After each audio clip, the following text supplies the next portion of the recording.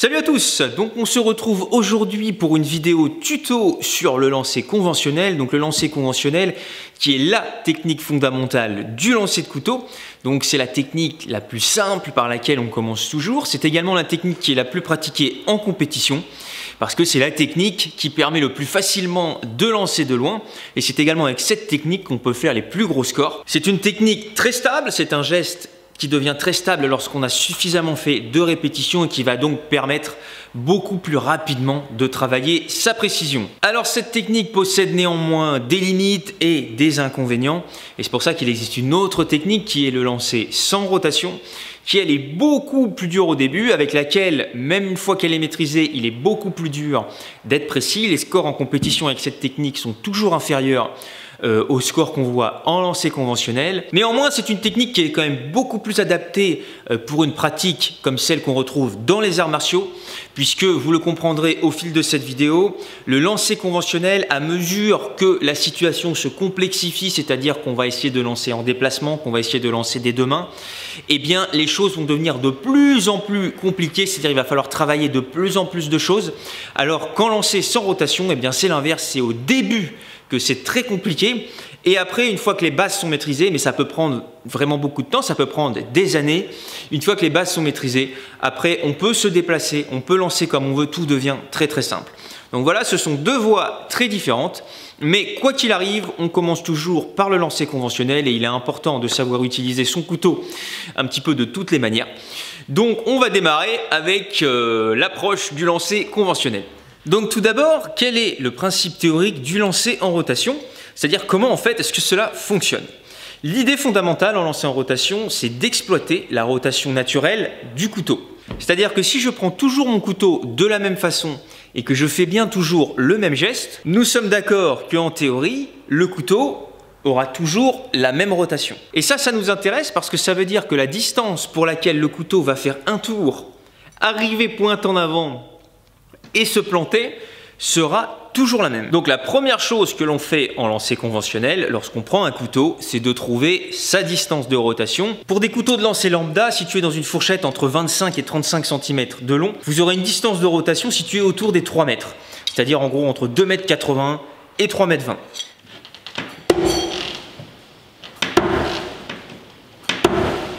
Mon geste ayant toujours été le même, on a des couteaux qui ont eu exactement la même rotation qui sont donc arrivés exactement dans le même sens. Et donc cette distance va nous servir de base. S'il existe, comme on vient de le voir, une distance pour laquelle mon couteau va faire un tour, il va donc exister une distance au milieu de cette rotation qui va correspondre à une demi-rotation, une demi-distance.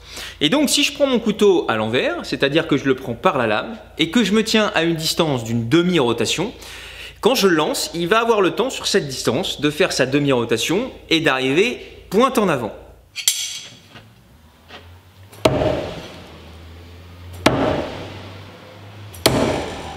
Donc basiquement, en lancer conventionnel, lorsqu'on veut se déplacer, on va rajouter des demi-rotations et des rotations.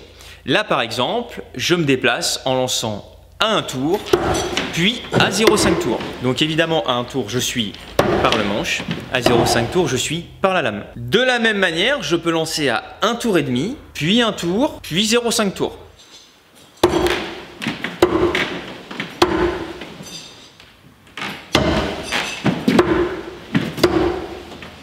En compétition, les épreuves fondamentales se déroulent à un tour, c'est-à-dire à 3 mètres, 2 tours, 5 mètres, 3 tours, 7 mètres.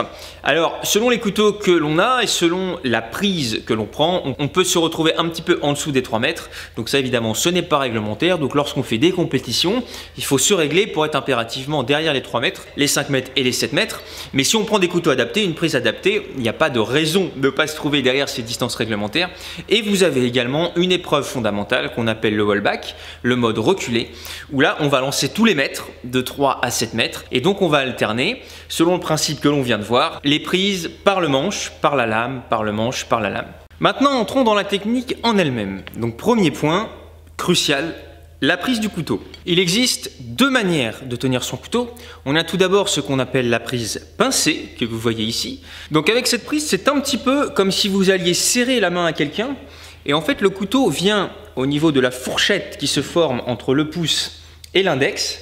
Et donc on a ici le couteau qui se positionne et les doigts qui viennent se refermer par-dessus. Et on a un couteau qui du coup se retrouve très en avant, c'est-à-dire qu'il n'est pas complètement droit, il est en avant par rapport à la main. Donc cette prise est qualifiée de pincée parce que si vous prenez votre couteau comme ça, vous verrez au ressenti que c'est vraiment une pression des deux côtés où on vient pincer. On n'est pas en train d'englober complètement, de serrer la main, un petit peu comme on le ferait avec un marteau. La deuxième prise, quant à elle, est la prise marteau. Donc là, tout est dit dans le nom. Vous pouvez voir ici une prise marteau. Donc c'est vraiment une prise où là, le couteau est à 90 degrés euh, comparé à la main. Et donc c'est une prise, évidemment, qui est beaucoup plus forte, beaucoup plus solide.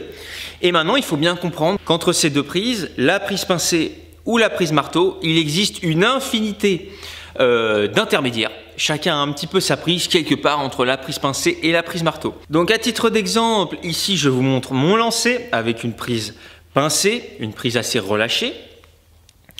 Vous pouvez également voir ici Pascal Boucreux, un très très grand monsieur du lancer de couteau, euh, qui lance lui aussi avec une prise pincée, une prise assez souple.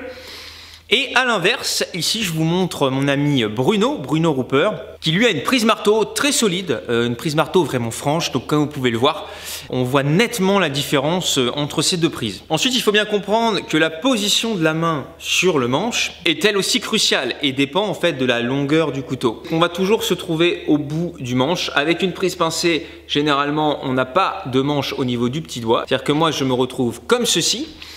Après, avec une prise marteau euh, très forte, il est possible chez certaines personnes qu'il y ait du manche, même jusqu'au petit doigt. Et généralement, on est quand même très très au bout et le petit doigt n'est pas utile, il est dans le vide. Alors, je pourrais m'étaler sur les prises parce que plus le couteau est petit et plus on va le tenir au bout. Là, ici, par exemple, vous voyez un de mes couteaux, euh, c'est un Zéphyr. Donc le Zéphyr, je suis vraiment sur une prise à ce que j'appelle à trois doigts, trois doigts avec le pouce. Mais sinon, il n'y a que l'index et le majeur euh, qui sont sur le manche. Vous aurez des gens qui seront vraiment à deux doigts, c'est-à-dire pouce et index. Donc voilà, plus le couteau est petit, plus on va le tenir au bout parce que plus on aura besoin de descendre la main pour avoir de la bascule vers l'avant. Cette bascule est très importante, il faut qu'on ait un, vrai ressenti du poids qui bascule pour pouvoir être régulier. Si on est trop haut, qu'on n'a aucune bascule, on va pas pouvoir avoir un geste régulier, on va pas pouvoir être stable. Là par exemple, je vous montre comment je prends mes aiguilles de lancer. Donc ça, c'est des, des beaux shurikens, donc rendus célèbres par les japonais, qui normalement se lancent sans rotation. Mais ici, ceux-là qui sont quand même exagérément longs, je peux aussi les lancer en rotation. Ils font quasiment 25 cm et donc vous voyez, je les pince vraiment entre le pouce et l'index. Et voilà, je leur fais faire un tour. Mais pour des objets aussi légers, ils font 120 grammes. On est obligé, pour ressentir la bascule, de les tenir très très au bout. Ce qui me permet d'ailleurs de vous préciser que si vous débutez le lancer de couteau, il faut éviter quand même au début de démarrer avec des couteaux qui font, euh, on va dire, moins de 250 grammes, mais pour la plupart des gens, il est bon pour commencer d'avoir un couteau autour des 300, 350 grammes. Maintenant, parlons du geste. Donc le geste, contrairement à ce qu'on pourrait croire, n'est pas un mouvement totalement circulaire, avec le bras qui serait monté très haut au-dessus de la tête et qui descendrait en arc de cercle. Si vous faites ça, vous allez être incapable déjà de lancer de loin, et surtout, vous allez avoir tendance à tout envoyer dans le sol. Le bon geste est le geste suivant. C'est en réalité une poussée progressive vers l'avant, c'est-à-dire que vous avez le couteau qui peut être plus ou moins au-dessus de votre tête. Ça, ça va un petit peu dépendre de votre geste personnel mais la main va être amenée devant, c'est-à-dire elle va se déplacer de façon assez linéaire. Alors il y a tout de même une courbe, mais voilà, la poussée est grandement horizontale. Et c'est ça qui va vous permettre d'avoir un couteau qui se déplace devant vous et non pas qui plonge vers le sol. Ensuite, c'est avec la pratique que vous allez comprendre à quel moment exactement lâcher le couteau dans votre geste. Bien entendu, lorsque vous allez lancer vos premiers couteaux, il y a très peu de chances qu'ils se plantent. Alors que faut-il faire pour réussir à planter ces couteaux? Eh bien, il faut regarder comment ils arrivent en cible. Donc tout d'abord, si vous avez un couteau qui fait autour des 300 grammes, qui fait autour des 28-35 cm, il va avoir une rotation plus ou moins autour des 3 mètres. Donc soit votre couteau va trop tourner, soit pas assez. Concrètement, si là je suis à ma distance, pour laquelle le couteau va faire pile un tour et arriver parfaitement droit, ça veut dire que si par exemple je suis plus loin, au lieu que le couteau arrive parfaitement droit, comme j'aurais été plus loin, il va avoir le temps de continuer de tourner. Donc si je suis un peu plus loin, c'est pas bien grave, il va arriver manche en haut. Mais si je suis vraiment trop loin, il va trop tourner au point qu'il ne se plantera plus. Donc illustration par l'effet, je vous refais un couteau correct. Qui arrive parfaitement droit. Je me recule et là, soit il va pas se planter, soit il va être manche en haut. Je vous emmène voir. Et là, vous voyez, donc il y a les deux premiers couteaux ici qui sont bien horizontaux. Et là, il y a celui où j'ai reculé, donc il a été accepté. Alors après, on peut jouer sur l'extension du bras. Par réflexe, j'ai quand même pas mal allongé, ce qui raccourcit, ce qui annule un petit peu euh, du recul que j'ai pris. C'est comme si j'étais un peu moins loin. Euh, mais on est vraiment, vraiment limite. Et de la même manière, on peut être trop près. C'est-à-dire que si mon couteau se plante régulièrement manche en bas, voire même ne se plante pas, c'est-à-dire rebondit, mais on voit que le manche est en bas, ça signifie que je suis trop près, c'est-à-dire qu'il faudrait qu'au début je sois plus loin pour que le couteau ait le temps de finir sa rotation. Maintenant, les trois cas de figure illustrés par trois lancers. Premier lancer, je suis trop près. Donc mon couteau se plante, mais on est vraiment limite et il est manche en bas. Ici, je suis pile à ma distance. Ça s'entend, mon couteau arrive parfaitement droit, pénètre très bien en cible. Et ici, je suis trop loin, donc il va soit pas planter, soit arriver manche en haut. J'ai un petit peu beaucoup allongé, donc j'ai quand même beaucoup surcompensé mon recul. J'avais pas envie qu'il plante pas. Donc ici, vous voyez le dernier, il est manche en haut, mais pas trop. Le, celui du milieu, le deuxième, lui, il est parfait. Et ça, c'est le premier, donc j'étais trop près. Donc là, on peut voir qu'il est euh, sévèrement manche en bas et que euh, ça a failli pas le faire. Alors évidemment, ces ajustements de distance n'ont de sens que si votre geste est à peu près toujours le même, ce qui au début ne sera pas du tout le cas. Et au début, vous risquez d'être impressionné par le fait que la moindre variable, la moindre respiration, la moindre petite modification sur votre position du corps, sur votre gestuelle, va complètement faire rater votre lancer. vous allez complètement échouer. Et donc au début, on peut se dire, mais, comment il est possible euh, de lancer comme ça, sans réfléchir, comme on peut le voir parfois? Eh bien en fait, il faut beaucoup de pratique et devenir un métronome. Ça prend quelques semaines, quelques mois, mais en réalité, vous allez voir, un jour, votre geste va se stabiliser. Ce qui est très frustrant au début, c'est que votre geste n'étant pas définitif, il est possible à un moment que vous trouviez votre distance, que vos couteaux plantent bien, soient parfaits, et puis que d'un coup, ça ne marche plus. Qu'est-ce qui se passe? Si ça se produit trop de fois de suite, une première série de 3, une deuxième série de 3, une troisième série de 3, et que plus rien ne plante ou quasiment plus rien, il faut bien regarder comment les couteaux arrivent. Il est possible que votre geste, et c'est même certain ça se produira, euh, se soit fluidifié, ou en tout cas se soit modifié, c'est-à-dire il commence à s'affiner, et du coup bah, votre distance de rotation a bougé. Gardez bien ça à l'esprit. Au début, ça va marcher pendant trois séries, ça va plus marcher. Au début, vous aurez des séances d'entraînement, plus rien ne rentrera. À ce moment-là, on n'insiste pas, on cherche à comprendre. Dois-je avancer? Dois-je reculer? Maintenant, deux mots sur le lancer par la lame, donc sur les demi-rotations. Gardez bien à l'esprit que lorsque vous lancez par la lame, vous devez opter pour exactement la même prise que vous avez par le manche. C'est-à-dire que si vous tenez votre couteau par le manche de cette manière, il faut, lorsque vous prenez votre couteau par la lame, que vous gardiez la même prise. Simplement, vous avez une forme différente dans la main, mais vous gardez la même prise. Vous ne commencez pas à prendre des prises un petit peu originales, où le couteau va se retrouver à plat, ou des trucs un petit peu voilà bizarres. Parce que du coup, votre geste sera pas le même, et la demi-rotation ne correspondra pas à une demi-distance de la rotation que vous avez par le manche. Parce que vous n'avez plus la même prise, donc vous n'avez plus la même rotation. Donc gardez bien la même prise, et à partir de là, ça sera assez mathématique de pouvoir trouver vos demi-rotations. Ce qui est intéressant également à noter avec les demi-rotations, c'est que si vous n'arrivez pas à planter euh, vos couteaux par le manche, que vraiment c'est compliqué ou que vous avez des pertes de régularité, n'hésitez pas à lancer à 0,5 tours. On est très près, certes, on est moins loin, c'est un petit peu frustrant pour certains, mais ça permet d'avoir un ratio de réussite plus grand, euh, ça permet d'avoir moins de variables. Plus on est prêt, plus les variables sont atténuées.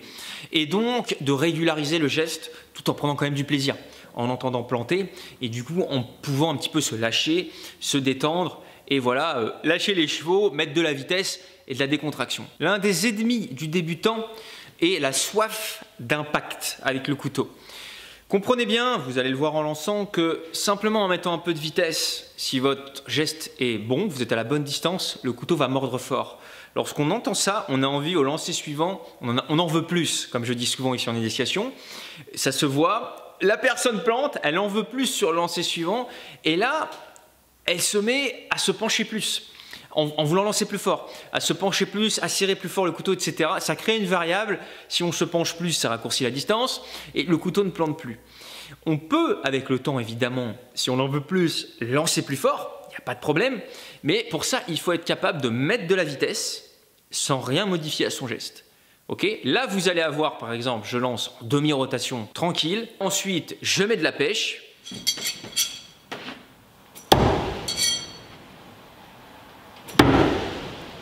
mais rien n'a bougé d'un lancer à l'autre. Le geste a été le même.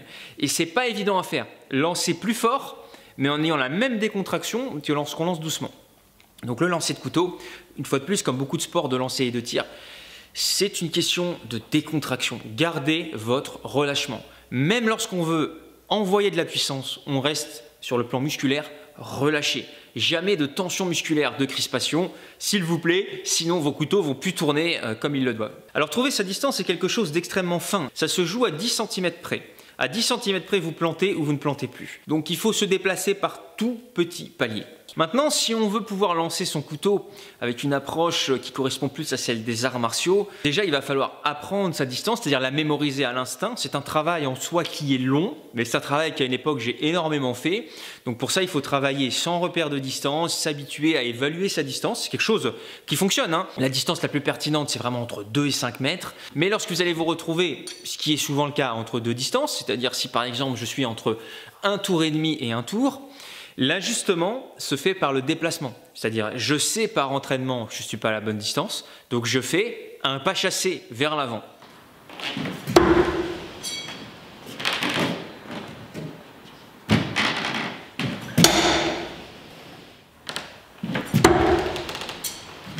Une autre façon de s'ajuster, mais qui est la plus complexe et qui demande vraiment d'avoir un geste extrêmement stable, c'est l'extension du bras. Donc l'extension va me servir à me rapprocher de la cible si je suis trop loin. Donc pour illustration, là je suis pile à ma distance. Et donc si je recule vraiment un bon coup de bien 20 cm, donc là je suis totalement hors distance. Si je fais mon geste normal, ça plante pas.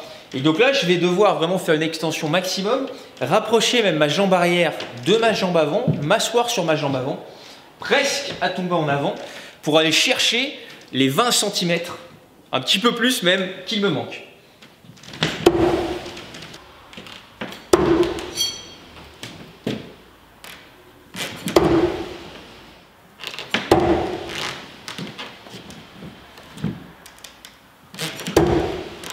Et bien entendu, on va pouvoir combiner l'hyper-extension qu'on vient de voir au pas chassé, c'est-à-dire faire un pas chassé et venir tendre à fond.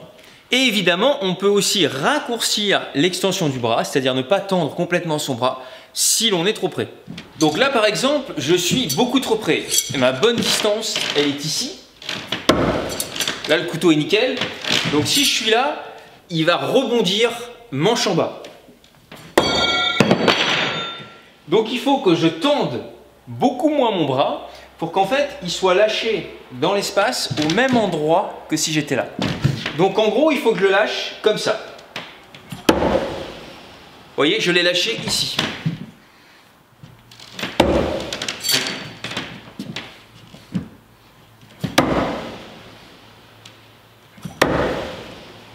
Donc ça, c'est vraiment quelque chose de très avancé, de très intéressant, mais je ne suis jamais allé au bout euh, de cette voie. Euh, tout simplement parce qu'après je suis passé euh, à la maîtrise du lancer sans rotation, sur lequel j'ai longtemps buté, et puis à un moment donné j'ai réussi à le débloquer, donc je suis passé là-dedans. Mais c'est quelque chose qui peut se faire. Il faut simplement le travailler. Donc j'ai usé de différentes méthodes d'entraînement pour apprendre à apprécier ma distance. Euh, ce qui peut être intéressant, c'est d'avoir notamment des distances connues. Vous êtes sur votre pas de tir classique, vous avez vos repères au sol, et simplement de vous déplacer en marchant, donc euh, de un tour et demi comme ici, puis à un tour, puis à 0,5 tours.